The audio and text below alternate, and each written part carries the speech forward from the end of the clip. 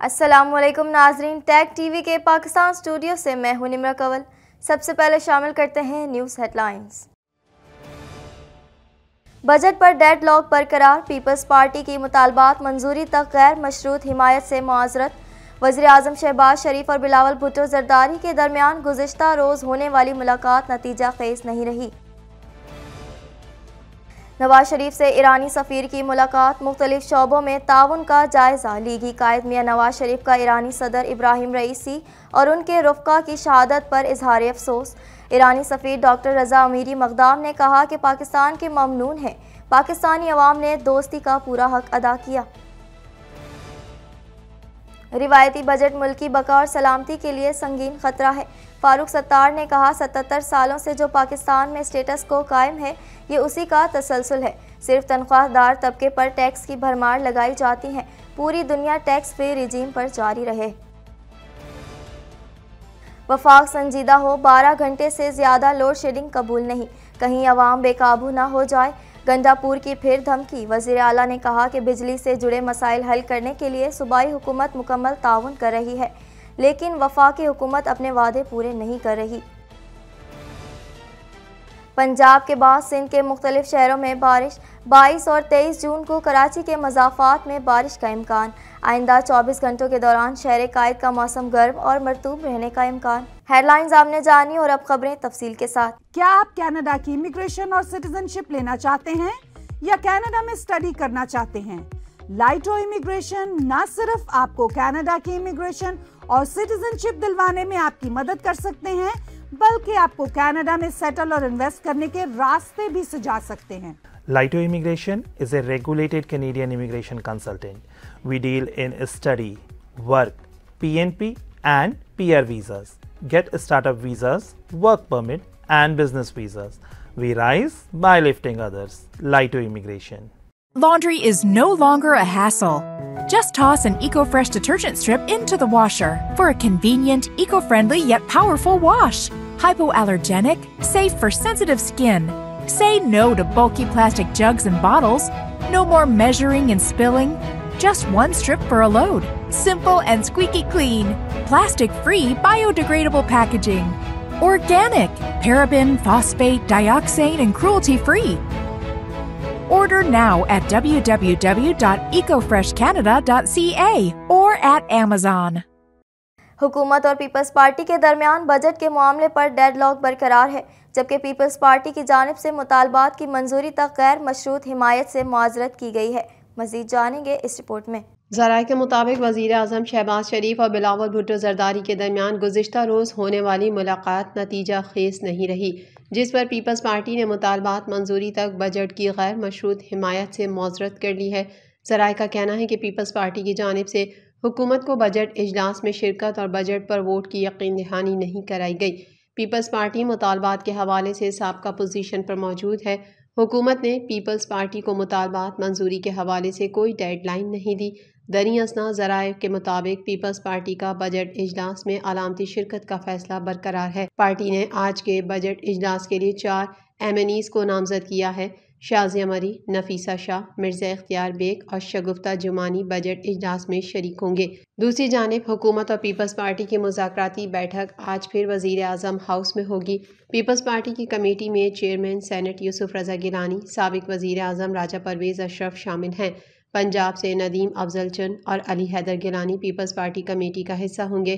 حکومتی کمیٹی میں اسپیکر قومی اسمبلی ایاز صادق، رانا ثناء اللہ خواجہ آصف ہوں گے۔ کمیٹی میں پنجاب حکومت کی نمائندگی رانا ثناء اللہ اور خواجہ سعد رفیق کریں گے۔ وزیر اعلیٰ پنجاب مریم نواز اور صدر مسلم لیگ نون میاں نواز شریف سے ایران کے سفیر ڈاکٹر رضا امیری مقدام نے ملاقات کی۔ مزید احوال اس رپورٹ میں۔ جاتی عمرہ، رائے ونڈ میں نواز شریف سے ایرانی سفیر کی ہونے والی ملاقات کے دوران باہمی دلچسپی کے امور پر تبادلہ خیال کیا گیا۔ ملاقات میں تجارتی، ثقافتی، اقتصادی اور سماجی تعلقات پر بھی گفتگو ہوئی۔ تینوں رہنماؤں نے Pak Iran border of security کو بارڈر آف اکانومی بنانے کی تجویز پر اصولی اتفاق کیا۔ ملاقات میں ایران اور پنجاب کے درمیان زراعت لائیو اسٹاک اور دیگر شعبوں میں تعاون کے امکانات کا جائزہ لیا گیا۔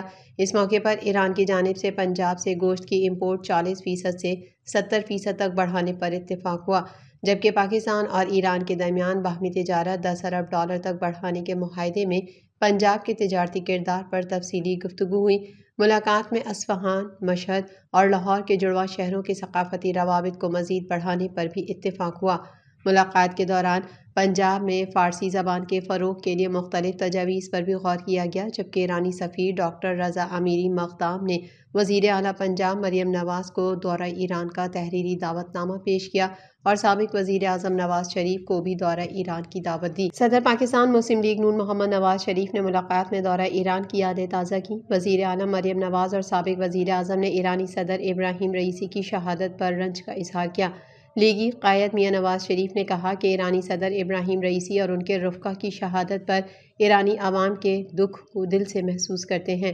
وزیر اعلیٰ پنجاب مریم نواز کا کہنا تھا کہ شہید ایرانی صدر ابراہیم رئیسی سے ملاقات یادگار رہی۔ ان کی شخصیت متاثر کن تھی۔ ایرانی صدر ابراہیم رئیسی سے ون آن ون ملاقات میں تجارتی، ثقافتی تعلقات کے فروغ پر سود مند گفتگو ہوئی۔ متحدہ قومی موومنٹ کے رہنما فاروق ستار نے کہا ہے کہ روایتی بجٹ ملکی بقا اور سلامتی کے لیے سنگین خطرہ ہے۔ مزید جانیں گے اس رپورٹ میں۔ قومی اسمبلی میں اظہار خیال کرتے ہوئے فاروق ستار کا کہنا تھا کہ میں ایسی جماعت سے تعلق رکھتا ہوں جو حکومت کی حلیف جماعت ہے، لیکن ہمارے درمیان سمجھوتا یہ ہے کہ ہم ایک دوسرے کو سچ کہنے سے نہیں روکتے۔ میرا تبصرہ اس بجٹ پر یہ ہے کہ یہ ایک روایتی بجٹ ہے۔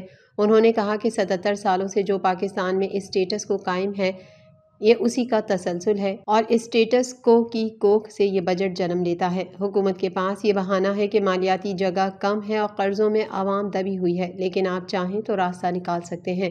ان کا کہنا تھا کہ ستر سالوں سے ہمارا حال ایک ہی جیسا ہے۔ پاکستان تحریک انصاف کے دور کے جو چار بجٹ تھے وہ بھی اسی اسٹیٹس کو کے آئینہ دار تھے، جیسا کہ یہ ہے۔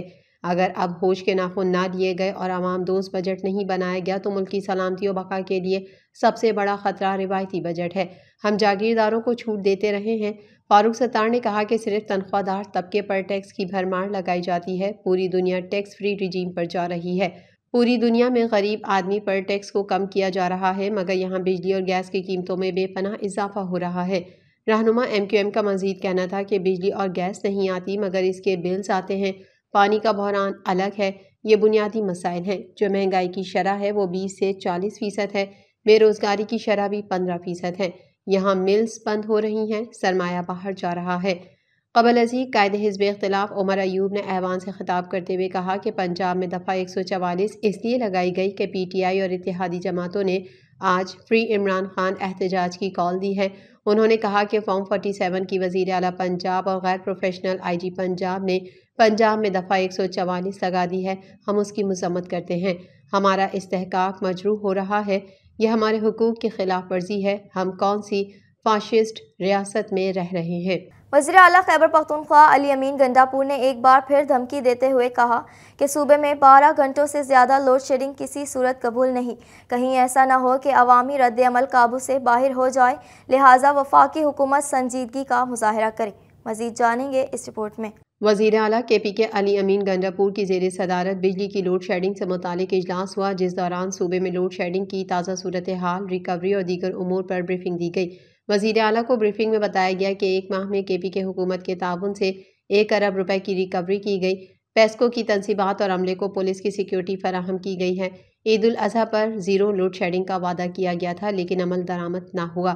عید کے موقع پر بیشتر علاقوں میں بارہ سے اٹھارہ گھنٹوں کی لوڈ شیڈنگ کی گئی۔ بجلی کی بندش کے سبب یکم مئی سے اب تک غیر اعلانیہ لوڈ شیڈنگ کے خلاف اکیاسی احتجاجی مظاہرے ہوئے جس میں خواتین نے بھی شرکت کی۔ اس موقع پر وزیر اعلیٰ نے کہا کہ بجلی سے جڑے مسائل حل کرنے کے لیے صوبائی حکومت مکمل تعاون کر رہی ہے۔ افسوس کی بات ہے کہ وفاقی حکومت اپنے وعدے پورے نہیں کر رہی۔ عید کے موقع پر بھی بجلی کی غیر اعلانیہ لوڈ شیڈنگ کی گئی۔ علی امین کا کہنا تھا کہ خاطر خواہ ریکوری کے بعد بھی بجلی کی لوڈ شیڈنگ کی جا رہی ہے۔ ناروا لوڈ شیڈنگ کے باعث لوگوں کی زندگی اجیرن ہو گئی ہے اور عوامی رد عمل سخت ہوتا جا رہا ہے۔ لوڈ شیڈنگ کے خلاف احتجاج کسی ایک سیاسی جماعت یا صوبائی حکومت کا نہیں۔ لوڈ شیڈنگ ایک عوامی مسئلہ ہے اور عوام کا رد عمل بیچا نہیں۔ وزیر اعلیٰ نے ایک بار پھر کہا کہ صوبے میں بارہ گھنٹوں سے زیادہ بجلی لوڈ شیڈنگ کسی صورت قبول نہیں۔ کہیں ایسا نہ ہو کہ عوامی رد عمل قابو سے باہر ہو جائے۔ وفاقی حکومت کو اس سلسلے میں سنجیدگی کا مظاہرہ کرنا ہوگا۔ صوبے میں لائن لاسز کو ختم کرنے کے لیے بھرپور تعاون کر رہے ہیں۔ پنجاب کے بعد سندھ کے مختلف شہروں میں بھی بارش سے گرمی کا زور ٹوٹ گیا۔ سکھر لاڑکانہ اور میہر میں شدید بارش سے نشیبی علاقوں میں پانی گھروں میں داخل ہو گیا۔ مزید جانیں گے اس رپورٹ میں۔ سکھر لاڑکانہ اور میرٹھ میں شدید بارش سے سیپکو کے ستر سے زائد فیڈر سٹرپ ہو گئے، جس کے سبب علاقے تاریکی میں ڈوب گئے۔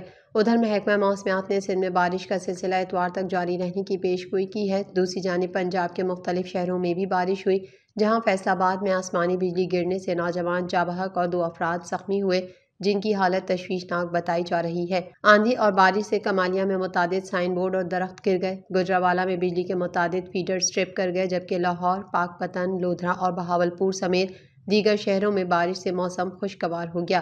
اس کے علاوہ سبی اور ہرنائی سمیت بلوچستان کے مختلف علاقوں میں بھی بارش ہوئی۔